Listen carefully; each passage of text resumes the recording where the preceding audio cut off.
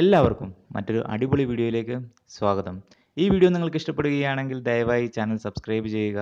അതോടൊപ്പം ഈ അറിവ് മറ്റുള്ളവരിലേക്ക് എത്തിച്ചേരുന്നതിനായി ഈ വീഡിയോ മറ്റ് ഗ്രൂപ്പുകളിൽ ഷെയർ ചെയ്യുക.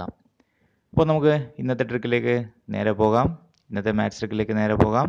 ഏതൊരു സംഖ്യയും എങ്ങനെയാണ് വളരെ എളുപ്പത്തിൽ അമ്പത് കൊണ്ട് ഗുണിക്കുക? അത് നമുക്ക് എങ്ങനെ മനക്കണക്കായി കാണാം? ഇതാണ് ഈ വീഡിയോയിൽ ഇന്ന് പറയുന്നത്. അപ്പോൾ ഒരു ഉദാഹരണമായിട്ട് മുന്നൂറ്റി അറുപത്തി രണ്ടിനെ നിങ്ങൾക്ക് അമ്പത് കൊണ്ട് ഗുണിക്കണമെന്ന് വിചാരിക്കാം. കാണുമ്പോൾ വലിയ സംഖ്യയാണ്. അപ്പോൾ നമുക്ക് ഉത്തരം കണ്ടുപിടിക്കാൻ പക്ഷേ വളരെ എളുപ്പമാണ്. മുന്നൂറ്റി അറുപത്തിരണ്ടിന്റെ പകുതി കാണുക മുന്നൂറ്റി അറുപത്തിരണ്ടിന്റെ പകുതി നൂറ്റി എൺപത്തൊന്ന് രണ്ട് പൂജ്യം കൂടി അതിന്റെ കൂടെ അങ്ങ് ചേർക്കുക. അപ്പോൾ ഉത്തരം എത്രയായിരിക്കും? മുന്നൂറ്റി അറുപത്തിരണ്ടിന്റെ പകുതി നൂറ്റി എൺപത്തൊന്ന് രണ്ട് പൂജ്യവും കൂടി. ഉത്തരമായി പതിനെണ്ണായിരത്തി നൂറാണ് അതിന്റെ ഉത്തരം. അപ്പോൾ ഇങ്ങനെ നമുക്ക് മറ്റു മറ്റു കുറച്ച് ഉദാഹരണങ്ങൾ കൂടി ചെയ്തു നോക്കാം.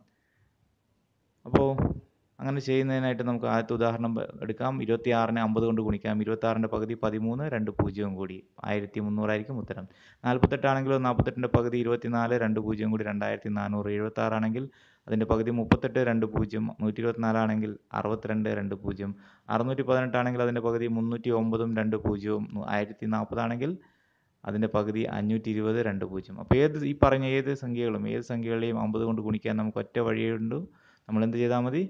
സംഖ്യയുടെ പകുതി കാണുക രണ്ട് പൂജ്യം കൂടി ചേർത്ത് കൊടുക്കുക. അപ്പോൾ ഇത് ഇരട്ട സംഖ്യകളുടെ കേസിലാണ് നമുക്ക് നേരെ പകുതി കാണാൻ കഴിയുക. ഒറ്റ സംഖ്യയാണെങ്കിലോ അതിൽ അര വരും. അപ്പോൾ നമ്മൾ എന്ത് ചെയ്യുക? നൂറ് കൊണ്ട് ഗുണിച്ച് ഉത്തരം എഴുതുക. ഇരുപത്തിമൂന്നിന്റെ പകുതി പതിനൊന്നരയാണ്.